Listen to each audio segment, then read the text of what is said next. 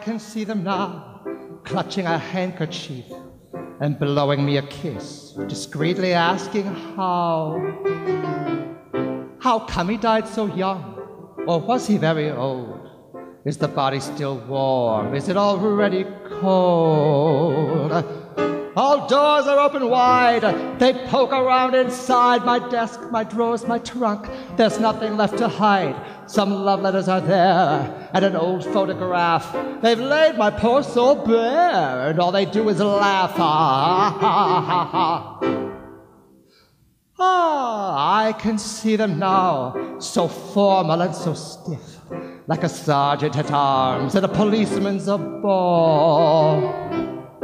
And everybody's pushing uh, to be the first in line, their hearts upon their sleeves, like a 10 cent Valentine.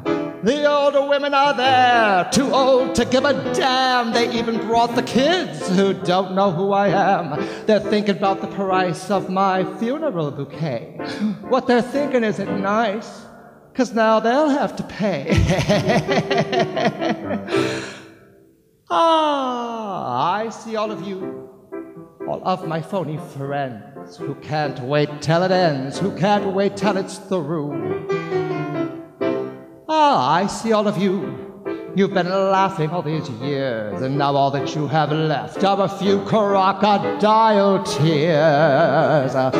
Oh, well, you don't even know uh, that you're entering your hell when you leave my cemetery and you think you're doing well with that one that's by your side. You're as proud as you can be. Oh, she's gonna make you cry, but not the way you cried for me. ah, I can see me now, so cold and so alone as the flowers slowly die in my field of little bones. Ah, I can see me now. I can see me at the end of this journey that I'm on, without a lover, without a friend. And all this that I see is not what I deserve. They really have a nerve to say these things to me. No girls, just bread and water. All your money you must save, but there'll be nothing left for us when you're dead and in your grave. Ah.